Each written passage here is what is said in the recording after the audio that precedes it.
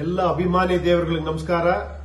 ನಿಮ್ಗೆಲ್ಲ ಗೊತ್ತಿರೋ ಹಂಗೆ ಸೆಪ್ಟೆಂಬರ್ ಹದಿನೆಂಟು ಈ ವರ್ಷ ಬಹಳ ವಿಶೇಷವಾದ ದಿನ. ಯಾಕಂದ್ರೆ ಗಣೇಶ ಚತುರ್ಥಿ ಆ ದಿನಾನೇ, ಅಭಿಮಾನಗಳ ಹಬ್ಬದ ದಿನಾನೂ ಆ ದಿನಾನೇ, ಮತ್ತೆ ನಿಮ್ಮೆಲ್ಲರ ಬಹಳ ನಿರೀಕ್ಷಿತವಾದಂತಹ ಯು ಎ ಚಿತ್ರದ ಟೀಸರ್ ಕೂಡ ಆ ದಿನನೇ ಲಾಂಚ್ ಮಾಡ್ತಾ ಇದ್ದೀವಿ.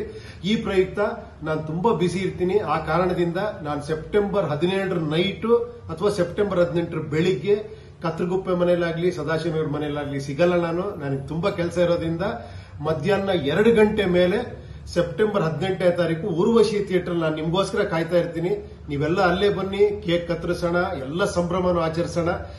ಎರಡು ಗಂಟೆಯಿಂದ ಎಂಟು ಗಂಟೆವರೆಗೂ ಈ ಸಂಭ್ರಮಾಚರಣೆ ಇರುತ್ತೆ.